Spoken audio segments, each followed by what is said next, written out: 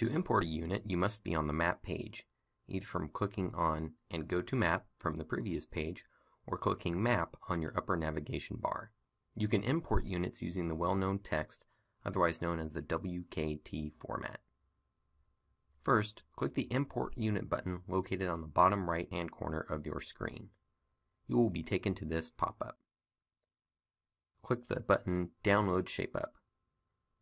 A Windows Internet Explorer pop-up will display asking if you'd like to open, save, or save as. For this, select Open and your browser will begin downloading the application. You can also choose the Save or Save As button and direct where you would like the download to be saved. After opening the download, you will get a window that opens with the contents of the download.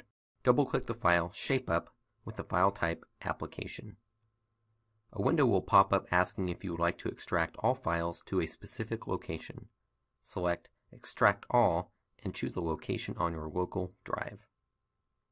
A new window will open showing all the extracted files and an executable application called ShapeUp. You can create a shortcut to your desktop by right-clicking and selecting Create Shortcut.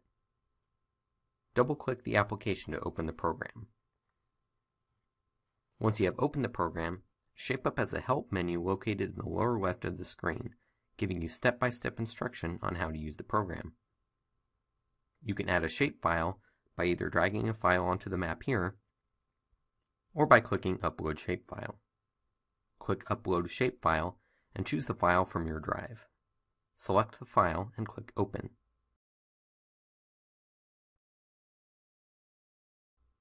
Next, to copy the unit into eNotification, click on the unit and then click Copy.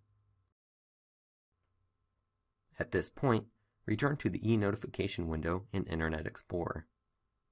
Right-click inside the Unit WKT box and select Paste. Then, click on Add Shape. Input the name of your unit and hit Save or Add Activity.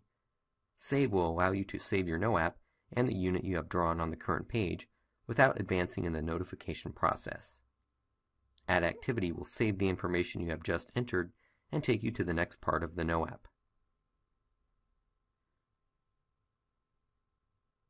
Once you have added your unit, you can proceed through the rest of the NoApp creation process.